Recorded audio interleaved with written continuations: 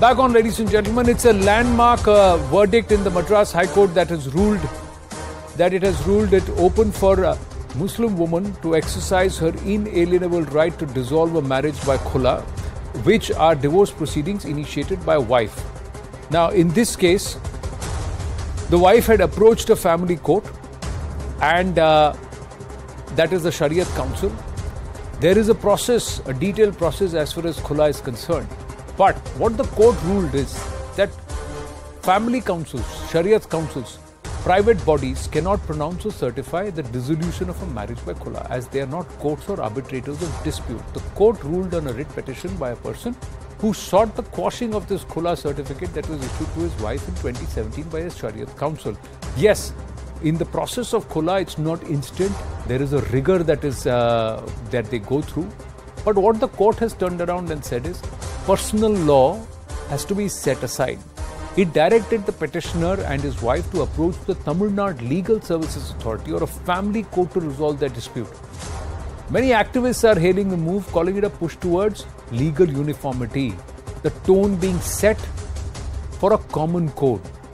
Not just regressive personal laws, but the fact is that my personal law or what I believe is personal law cannot be higher than what the law is mandated as per constitution because the law has to see everyone equally. So if an instant teen talaq should not be allowed, then should a khula also be not allowed?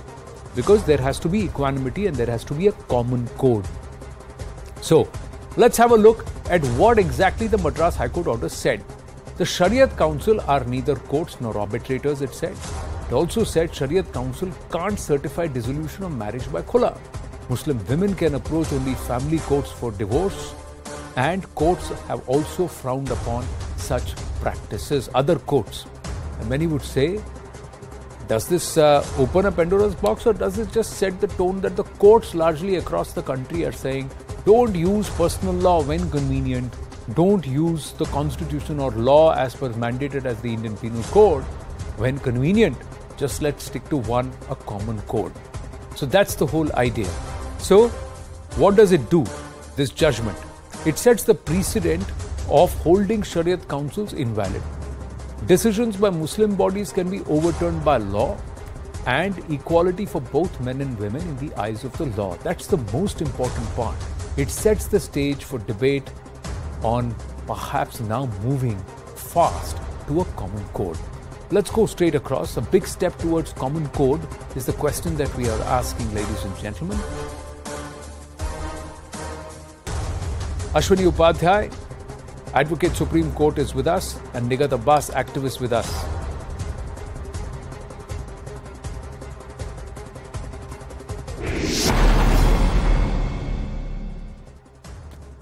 Let me, start with Nigat Abbas. Many, many would say that the process of Khula itself is so long, so thing. So you'll also turn around and ask that this man first went to the Shariat court. He didn't say, I don't want to go through the Shariat. There, the uh, verdict was against him, so he said, "Okay, let me go to the court." This is very convenient for both sides. First, we'll go know, to the Sharia court. Then, agar wahan nahi mila, to chalo, let's go to the.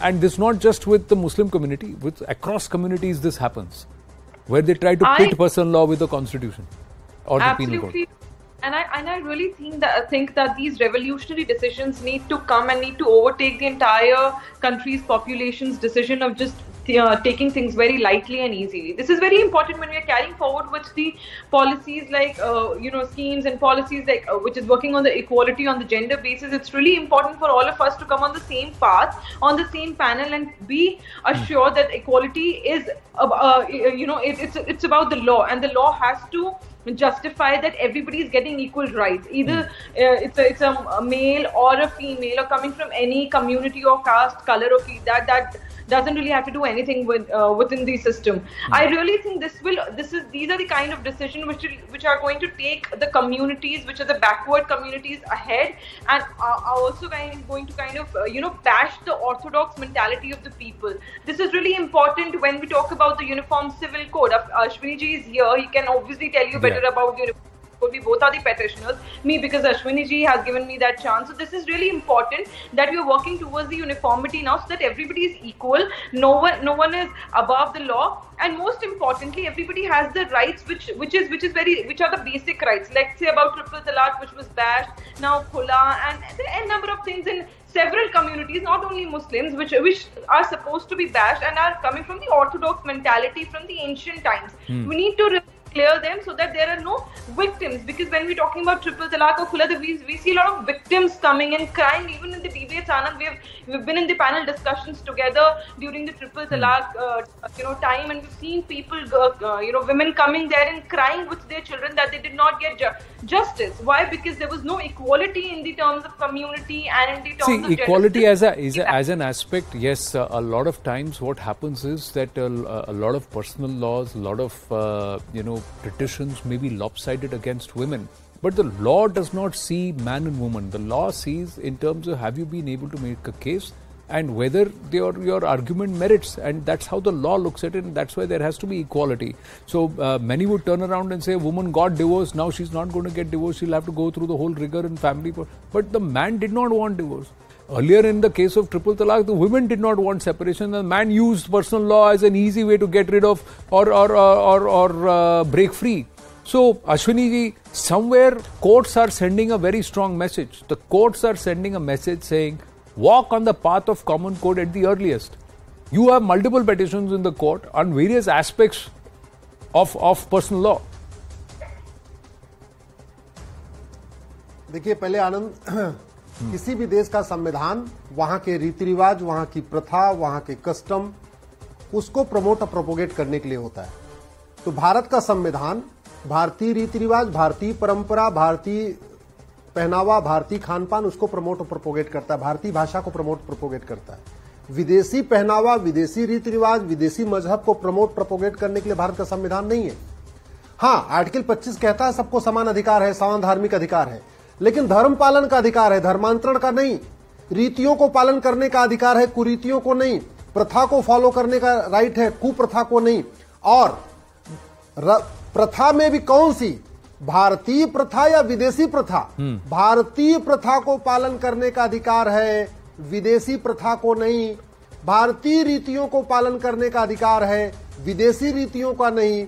तो इसलिए मैं कहता हूँ कि भारत की तो जो परंपरा है वो नारी तू नारायणी है।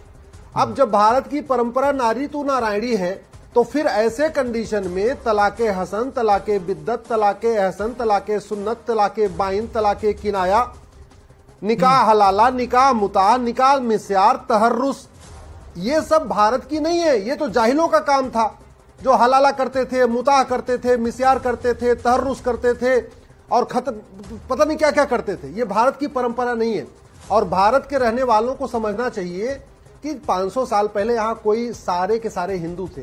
निगत अब्बास बैठी हैं। दो जनरेशन तीन जनरेशन पहले हो सकता है ये मेरी मौसी की बेटी हो। मैं तो इसको आज भी अपनी बहन मानता हूँ लेकिन मेरा मानना है तीन जनरेशन पहले हो सकता है मेरी बुआ की लड़की होगी या मेरे मौसा की लड़की होगी या मेरे फूफा की लड़की होगी। तो हम सब सारे भाई बहन है यहाँ पे। भारत में तो एक्चुअल में 80 परसेंट हिंदू हैं 20 परसेंट जो अपने आप को हिंदू नहीं मानते एक्चुअल में वो कन्वर्टेड हिंदू हैं। मुस्लिम तो कोई है ही नहीं यहाँ पे। चाहे वो चंगेज हो चाहे देखिए हो चाहे लोधी ये हो चाहे गजनी हो चाहे गोरी हो ये चाहे अलग ये अलग लेवल पे उनके बच्चे यहाँ उनके मे- किसी मेरा के बच्चे नहीं देखिए हैं। ये अब इस मैं पर आता हूँ विषय हाँ, हाँ जी हाँ विषय पे जी। नहीं नहीं मैं मैं अब आप मैं आपका जो पॉइंट है उस पर आता हूँ। देखिए बड़ी सीधी सी बात है। एक सोच है एक ओहम द्वितीय नास्ती दूसरी सोच है कहती है सबका साथ सबका विकास सब समान है। तो जब हम भारत में कहते हैं संविधान है संविधान को अगर आप उसको अ, संविधान हाँ। ऐसा विधान जो सबके लिए समान लागू हो। तो जब सबके लिए समान लागू हो तो तलाक लेने की प्रक्रिया एक होनी चाहिए तलाक लेने का ग्राउंड एक होना चाहिए तलाक कोर्ट के ज़रिए सबका होना चाहिए। अगर मौखिक है तो सबका मौखिक। मेरे को लगता है ये अलग अलग नहीं चलना चाहिए। और मुझे पूरा भरोसा है कि 2023 में ये पर्सनल लॉ खत्म होगा। हिंदू मैरिज एक्ट भी खत्म होगा मुस्लिम मैरिज एक्ट भी खत्म होगा पारसी मैरिज एक्ट भी खत्म होगा क्रिश्चियन मैरिज एक्ट भी खत्म होगा सब खत्म होंगे। और इस देश में इंडियन पिनल कोड की तर्ज पे एक इंडियन सिविल कोड आएगा। मैं आप उसको कॉमन सिविल कोड कहते हैं या यूनिफॉर्म सिविल कोड कहते हैं मैं उसको इंडियन सिविल कोड कहता हूँ। इंडियन पिनल कोड पहले से है। एक इंडियन सिविल कोड की ज़रूरत है। देश की सभी बहन बेटियों को इक्वल राइट होना चाहिए। वो बेटी हिंदू की हो या मुस्लिम की हो पारसी की हो या ईसाई की हो मैं बस यहाँ पर यही कह रहा हूँ। बस बात खत्म कर रहा हूँ। टेन सेकंड टेन सेकंड बे, बेटी किसी की हो बेटी किसी की हो शादी विवाह की उम्र समान होनी चाहिए। गुजारा भत्ता सभी बेटियों को मिलना चाहिए। विरासत का अधिकार सबको मिलना चाहिए वसीयत का अधिकार सबको मिलना चाहिए मैं बस इतना कहूँगा मैं आपकी सारी बातों मैं आपकी पोषण का अधिकार सबको मिलना सबको मिलना चाहिए सिर्फ़ बेटियों की बात ना करें बेटों का भी उतना ही अधिकार कानून पर होना चाहिए जितना बेटियों का है। और कानून की नज़र में बेटा बेटी दोनों की नज़रें सेम होनी चाहिए चाहे वो तलाक हो चाहे वो इनहेरिटेंस हो चाहे वो कोई भी बात हो it has to be equal gender neutral that's what I am trying to say. That it gender cannot neutral. be that certain aspects you, law cannot be lopsided in favor of anybody. Thank you, Ashwini ji. I've run out of time. Nigat Abbas, thank you very very much. We'll follow the developments very closely, but the court seemed to have set the tone. With that, it's a wrap of this edition of the Right Stand.